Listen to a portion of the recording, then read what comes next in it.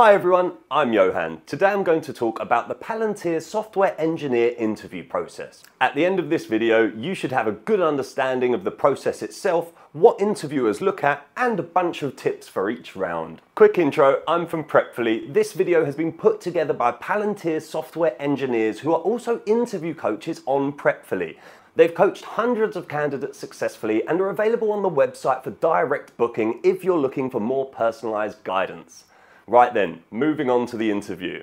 There are three main rounds to the Palantir software engineering interview process. First, the phone interview.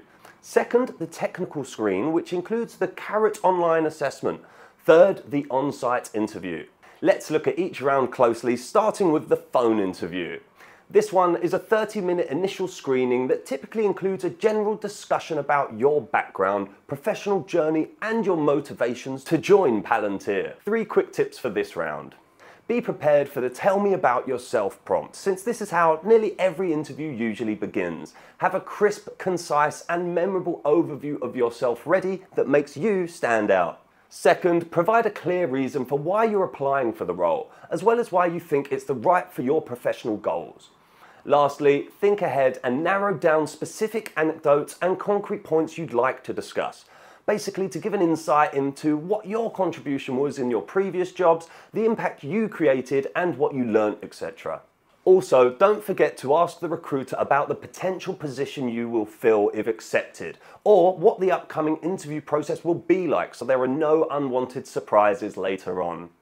Let's move on to the second round, the technical screen, which is split into two parts. The first will be a resume review, and the second, a coding assessment conducted by Karat, which is a third party company.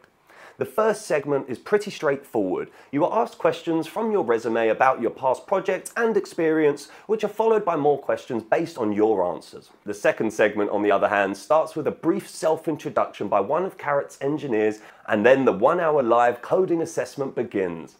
There are three progressive coding problems asked, usually easy, medium LC questions, and you are on a tight deadline. It usually follows a pair programming format where you solve three progressive coding problems while collaborating with the interviewer.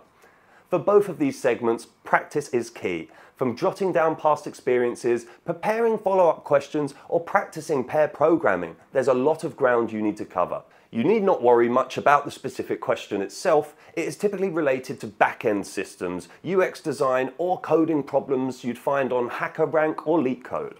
What's important is that you demonstrate quick and effective problem-solving skills and an ability to work collaboratively to find the solution we'd recommend practicing with a mock interviewer to get familiar with the turns this interview can take and glean feedback on how well you tackle the curveballs thrown at you.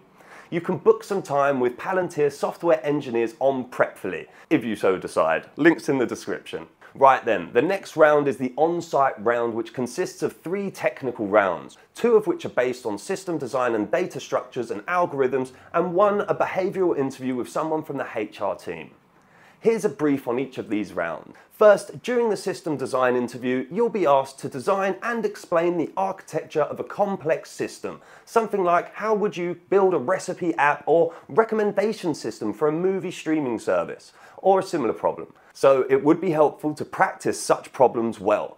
Make sure you touch upon factors like data storage, data privacy, fault tolerance, scalability, etc. when designing your system.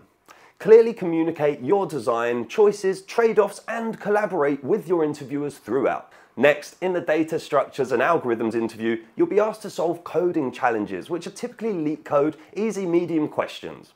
There will be progressive questions throughout, so be prepared to think on your feet and show off your problem solving skills.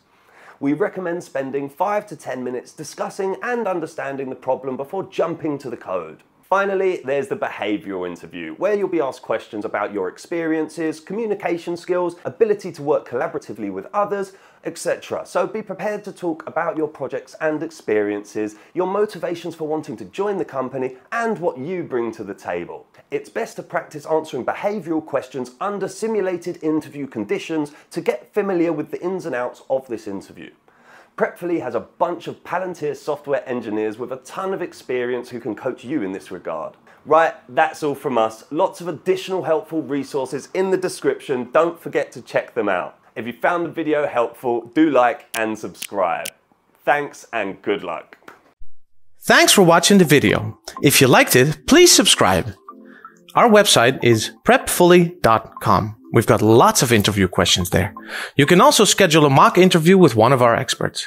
You can find the link in the description below. All the best from us at Prepfully, and we hope you totally rock your interview.